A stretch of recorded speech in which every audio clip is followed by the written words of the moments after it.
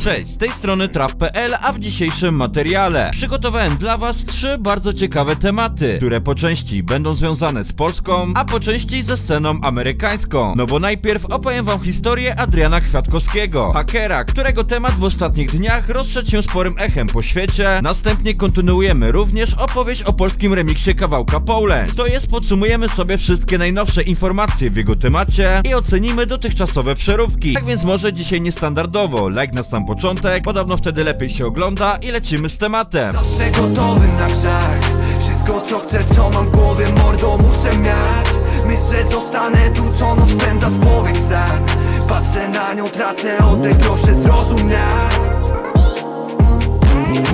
Zaczynamy sobie dzisiaj od historii 24-letniego pana Adriana Kwiatkowskiego, a raczej spierdarka, bo pod taką ksywą działał w internecie ten mężczyzna, którego historia odbiła się sporym echem na całym świecie w ostatnich dniach, ponieważ jak się okazuje, parę lat temu to właśnie Adrian odpowiadał za ogromną część lików największych globalnych artystów. Inaczej mówiąc, Adrian nielegalnie uzyskał dostęp do prywatnych dysków dziesiątek muzyków, a następnie wykradał utwory z ich baz danych. I mowa tutaj o absolutnie największych artystach świata takich jak Kanye West, Lil Uzi Vert, czy też nieco mniej związanych z rapem, jak Post Malone, Frank Ocean czy Ed Sheeran. Więc no skala popularności tych artystów najlepiej może nam pokazywać, jakie umiejętności hakerskie Adrian posiada, bo między innymi to za jego sprawką wyciekł na przykład słynny leak Butterfly od Eda Sheerana, czy też Dacerak i Sanguine Paradise od Lil Uziego Verta w 2019 roku, przez co Uzi musiał wówczas natychmiastowo te dwa kawałki upublicznić, dokładnie tak samo jak to właśnie było z Lil Yadim i z numerem Poland. Jednak koniec końców, menedżerowie Franka Oceana postanowili zgłosić ten przypadek w 2019 roku na policję, po czym służby wszczęły zaawansowane śledztwo, by znaleźć lokalizację, z której Adrian prowadzi ten nielegalny biznes, no i też im się to w końcu udało, ponieważ niedługo później do jego domu w Ipswich Town przyjechały służby, które następnie wywęszyły w jego posiadłości aż 7 urządzeń, na których wykradzione fanty Adrian zbierał, no i łącznie znaleziono na nich aż 1263 niewydanych utworów, w sumie 89 artystów oraz jeszcze do tego znaleźli laptop z dodatkowymi nielegalnymi plikami audio, których było aż 595 i na których, jak policjanci oszacowali, haker mógł się wzbogacić o około 720 tysięcy złotych. Adrian oczywiście pozyskane łupy sprzedawał na dark webie w walucie bitcoinów, tak aby jego działalność była jak najbardziej nienamierzalna. Dlatego też osobiście podejrzewam, że finalnie zarobił na tym znacznie większą kwotę. No ale koniec końców został aresztowany przez brytyjskie służby i od 2019 roku trwały jego rozprawy sądowe, podczas których Adrian przyznał się do m.in. 14 naruszeń praw autorskich i trzech przypadków niewłaściwego użycia komputera. No i właśnie przed paroma dniami usłyszał swój wyrok, który brzmi 18 następnych miesięcy w więzieniu. Więc no nie wydaje mi się, by była to kara odpowiedniej wagi, jak na to, co tak naprawdę Adrian robił, szczerze mówiąc, no bo straty, na jakie naraził największych artystów poprzez kradzież ich pracy, pewnie sięgają milionów dolarów. A oprócz tego przecież też działał na ich psychikę, ponieważ taki Ed Sheeran podobno po włamaniach pana Adriana miał w pewnym momencie stany lękowe odnośnie tego, czy będzie jeszcze w stanie nadal wypuszczać swoją muzykę. No ale jak wiadomo, od jakiegoś czasu Polska posiada nowy nieoficjalny hymn narodowy, o którym rozmawialiśmy sobie w paru ostatnich odcinkach, dlatego przydałoby się ten temat też dzisiaj zupdate'ować, ponieważ cały czas nie milkną głosy w kontekście zarówno samego kawałka, jak i jego polskiego remiksu. No bo przede wszystkim Yadi jakiś czas temu wystąpił na odcinku Uzaja, czyli na największym kanale na świecie z reakcjami na muzykę, gdzie to jak zawsze w kapitalnym humorze panowie wspólnie komentowali ten kawałek.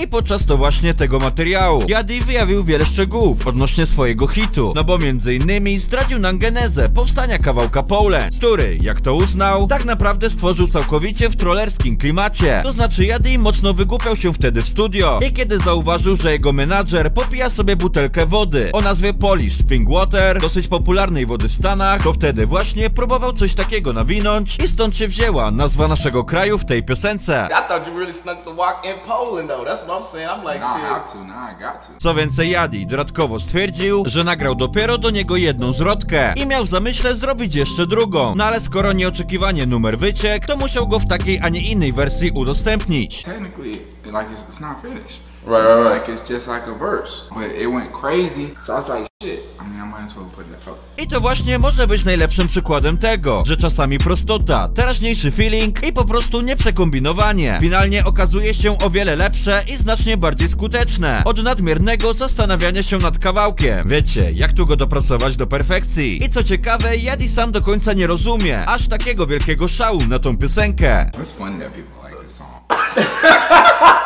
No ale co dla nas cały czas najbardziej ciekawe, to padło w tym odcinku dwukrotnie pytanie o tak zwane Poland 2. All in part two?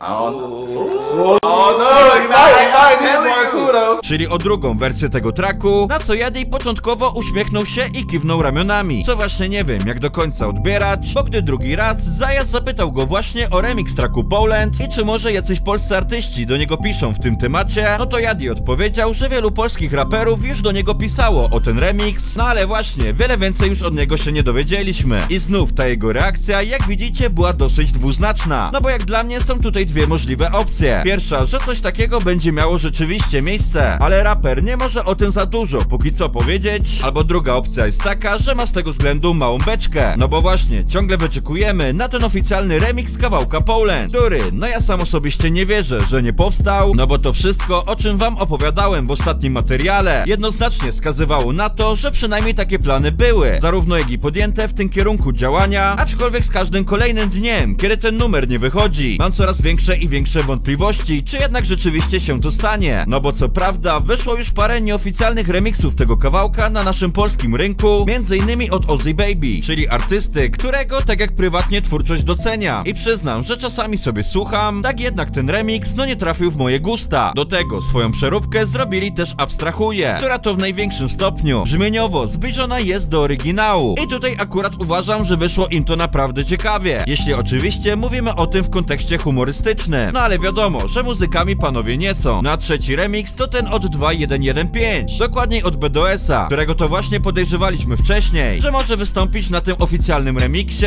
No i Whitechora, którego w poprzednim materiale trochę pominąłem. No ale szczerze wam powiem, że ta wersja chłopaków no po prostu mi nie podchodzi. Jakoś te klimaty mi się zbyt mocno ze sobą gryzą. I widziałem zresztą, że wam do gustu też on nie przypadł. Z tego co pisaliście na przykład na Trapel Info. Chociaż jak później BDS zaznaczył na swoim Instagramie. Był to track zrobiony na szybko, bardziej pod beczkę, więc też myślę, że nie powinniśmy się tutaj zbytnio napinać z tego względu. No ale w każdym razie to dalej nie jest ten oficjalny remix kawałka Poland, o który cały czas nam chodzi. No ale Multi na swoich streamach zdaje się zaprzeczać temu, że to on na tym kawałku wystąpi, a to był nasz przecież główny target, który celowaliśmy w naszych przypuszczeniach, tak więc póki co jedna wielka cisza, a każdy kolejny dzień działa w tym temacie na naszą niekorzyść. I nic nam niestety nie pozostało, jak tylko czekać na rozwój sytuacji, o ile takowy będzie i jeśli doceniacie moją robotę włożoną w to wszystko, no to standardowo zostawcie suba mordę, a ja już tymczasem się z wami żegnam. Trzymajcie się, cześć!